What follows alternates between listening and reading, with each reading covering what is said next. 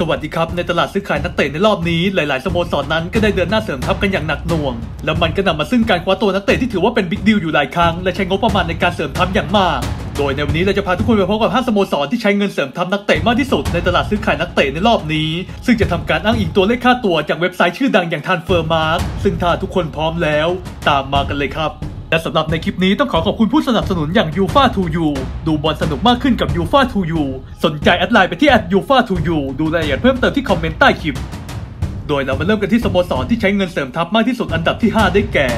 บาร์เซโลนาทีมยักษ์ใหญ่จากศึกลาลิก้าสเปน ซึ่งจนถึงปัจจุบันบาร์ซ่าใช้เงินเสริมทัพนักเตะไปแล้วถึง 92.7 ล้านปอนด์โดยแบ่งเป็นการซื้อตัวโรเบิร์ตเลวันดอฟสกี้มาจากบาเยิร์นมิวนิกด้วยค่าตัว 40.5 ล้านปอนด์ และการคว้าตัวราฟินญามาจากลีดส์ยูไนเต็ดด้วยค่าตัว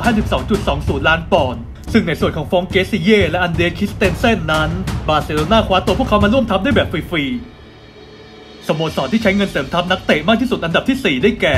ลีดส์ยูไนเต็ดทีมดังจากศึกพรีเมียร์ลีกอังกฤษ ซึ่งจนถึงปัจจุบันลีดส์ใช้เงินเสริมทัพนักเตะไปแล้วถึง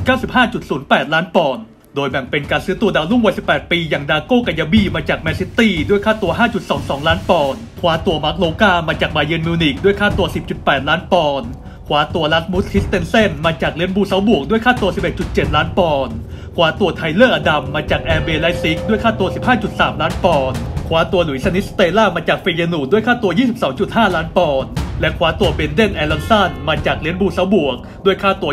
29.56 ล้านปอนด์ สโมสรที่ใช้เงินเสริมทัพมากที่สุดอันดับที่ 3 ได้แก่แมนเชสเตอร์ซิตี้ทีมมหาเศรษฐีจากศึกพรีเมียร์ลีกอังกฤษ ซึ่งจนถึงปัจจุบันแมนซิตี้ใช้เงินเสริมทัพนักเตะไปแล้วถึง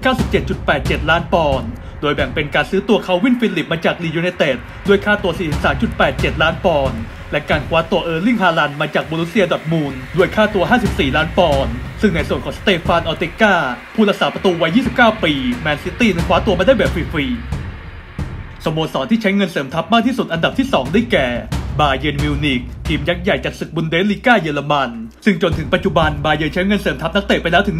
105.75 ล้านปอนด์โดยแบ่งเป็นการซื้อตัวไรอันกราเวนเบิร์ชมาจากอาแจ็กซ์อัมสเตอร์ดัมด้วยค่าตัว 16.65 ล้านปอนด์คว้าตัวซาดิโอมาเน่มาจากลิเวอร์พูลด้วยค่าตัว 28.8 ล้านปอนด์และคว้าตัวมัตไทส์เดอลิกต์มาจากยูเวนตุสด้วยค่าตัว 60.30 ล้านปอนด์ซึ่งในส่วนของนุสแซร์มาซราอุยบาเยิร์นนั้นคว้าตัวเขามาจากอาแจ็กซ์ได้แบบฟรีๆ และแล้วก็มาถึงสโมสรที่ใช้เงินเสริมทัพนักเตะมากที่สุดอันดับที่ 1 ได้แก่ อาร์เซนอลทีมยักษ์ใหญ่จากศึกพรีเมียร์ลีกอังกฤษ ซึ่งจนถึงปัจจุบันอาร์เซนอลนั้นใช้เงินเสริมทัพนักเตะไปแล้วถึง 118.86 ล้านปอนด์ โดยแบ่งเป็นการคว้าตัวมาร์กินญอสมาจากเซาเปาโล ด้วยค่าตัว 3.15 ล้านปอนด์คว้าตัวแมทเทอร์เนอร์มาจากนิวอิงแลนด์เรฟโวลูชั่นด้วยค่าตัว 5.73 ล้านปอนด์คว้าตัวฟาบิโอวิเอล่ามาจาก FC ปอร์โต